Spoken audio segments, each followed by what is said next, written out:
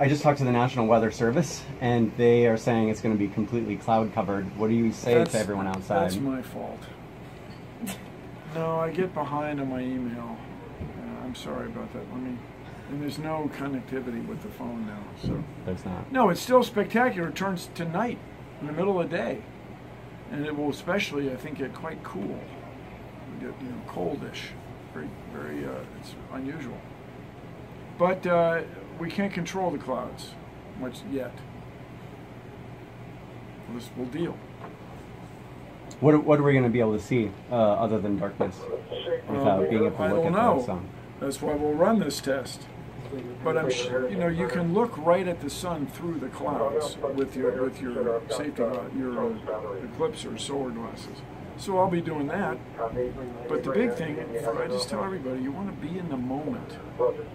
You just don't. Everybody's so crazy right now for cell phone video, cell phone pictures. Uh, they forget to be present uh, mentally, to be engaged. So that's maybe the clouds will help people be more engaged. Maybe Put down the phones, put on the glasses. for a second, yeah. Or how about for a minute and thirty-four seconds?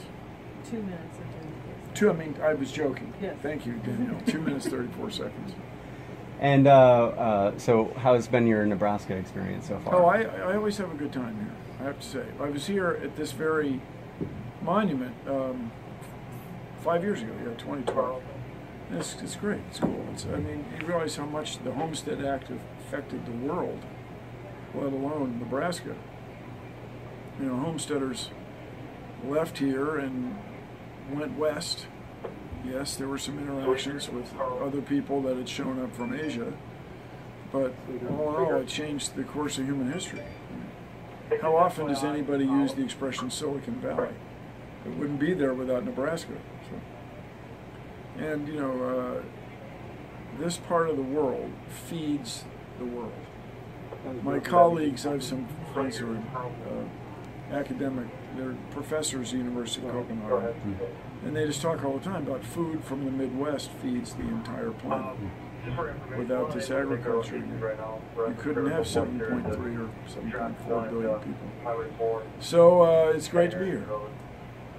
One last question, uh, and I'm sure you've been asked this question a lot. How great, what, what is the impact of this kind of event at the national scale, global scale, for science literacy, science acceptance, that kind of thing right now Well, I hope country? it gets us all to accept science, uh, to embrace it, let's say, because first of all, it's intellectually a way better way to go than pretending that your opinion is as good as data collected by diligent researchers. That's one thing.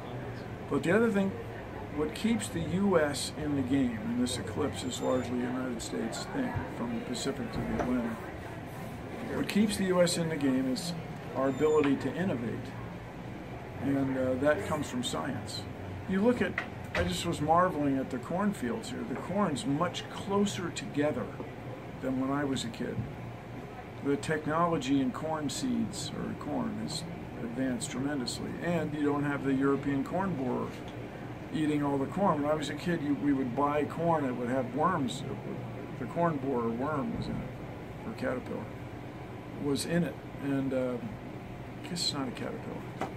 Anyway, you don't want that, and so the technology of agriculture has enabled us to feed a great many more people than we could even 20 years ago, and it, it it's a, a race against nature, uh, against evolution, but it's a worthy one. We're in the game. You know, humans now move more soil and rock than nature does Wow. is really an astonishing Wow. thing to consider. More than earthquakes, mudslides, mountain building with continental plates running into each other. And uh, so you have to, first of all, once you realize that, I think it's important to accept that we are in charge now. Humankind is in charge of the planet. So we have to we have a responsibility to take care of it. And so I hope this eclipse reminds us all of the importance of science and discovery to the quality of our life. I hope this eclipse brings us together and changes the world. We're just not in charge of the clouds yet. No, we people have tried to be. People have tried seeding clouds for a better part of a century. It's very difficult apparently. Eventually. It's the, uh, I think it's the size of the problem that you don't realize. When you have, when you have a cloud that's just a kilometer by a kilometer, cumulus cloud, let me just do this number. Let's say then, how thick would it be? 500 meters thick, 300, let's go a third of, third of a kilometer thick, so that's one by one by a third. And then in cubic meters, that's uh, a million times, that's 300 million tons of water. and so uh, that's that would be at the density of ocean water. So it's let's say it's a hundredth of that or a thousandth of that. We're still talking about millions of tons of water when you look at a cloud. It's really it's an astonishing thing. Yeah. That's beautiful. So uh, respect those clouds today, people. and if it does, I saw lightning earlier. If it does start to rain, I hope it. I hope the lightning and so on holds off till uh, two thirty. Yeah, Four? one, one oh four. Well, yeah, at least till yeah, one oh four. Hoping for two thirty because it. I've seen a couple partial eclipses. It's really weird. I mean, it, it gets dark. Like, what's going on? Like, is it getting cloudy? Not not that cloudy. It's the sun's behind the moon for crying out loud. Anything else you'd like to add? Well, celebrate both the the beauty of it. It's awe-inspiring to see this. This you're very familiar with the moon. You're very familiar with the sun. Well, today they interact in a way that may never happen again in your lifetime, where you're under, in the path of it.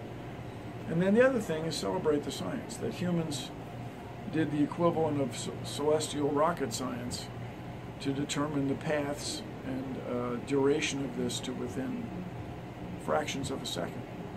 No tarot card reader, no psychic, no homeopathic anybody can do anything like that. This is authentic science. Thank you. Thank you, sir. Cool. Carry on.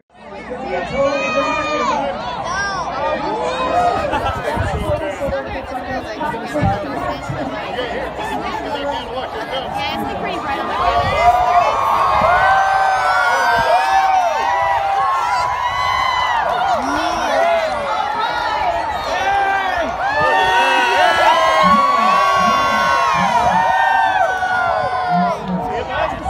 seconds away, folks. And remember, it is safe to take the dust up, but only in full totality. And when the full totality ends, they will not be able to put their glasses back on, okay?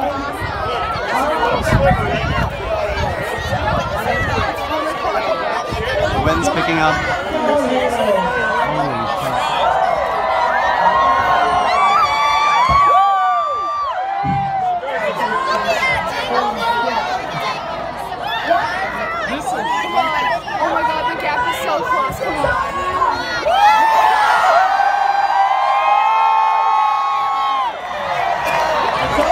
For the shadows, let's work for the shadows.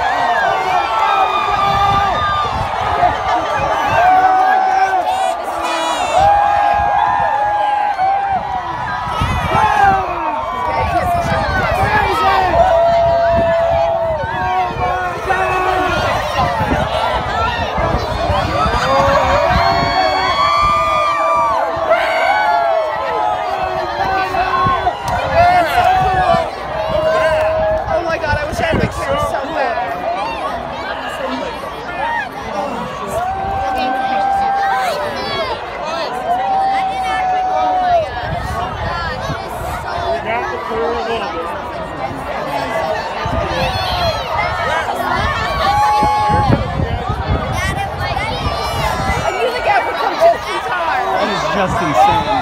You can see stars. You can see stars.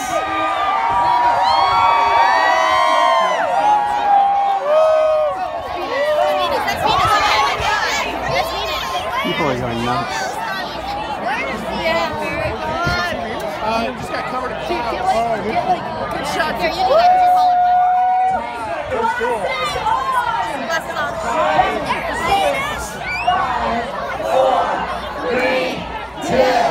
Glasses on. Glasses on. Woo!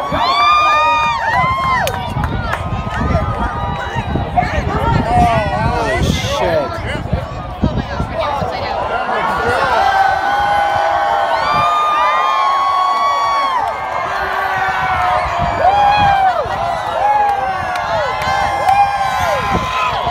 Pretty awesome, isn't it? See it?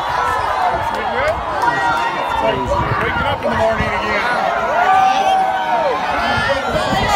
visibly getting lighter. Really good now, dude.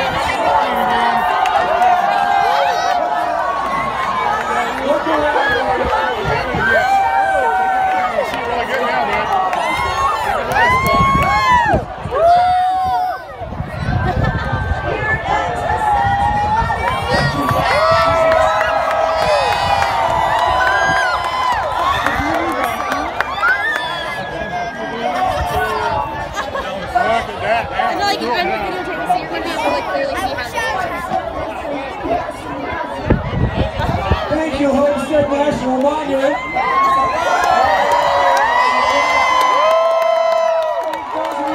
For members of the Planetary Society, thank you for your support.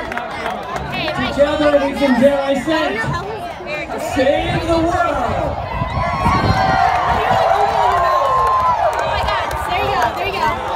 So yeah, that was pretty much it. Uh,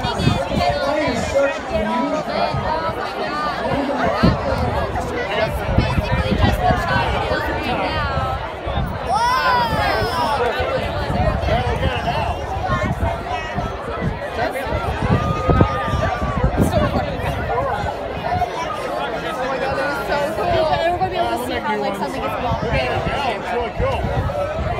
Well, we'll see you all in 2024. Watch it now, the sun's coming back. How about that, Rita? The clouds cleared just in time.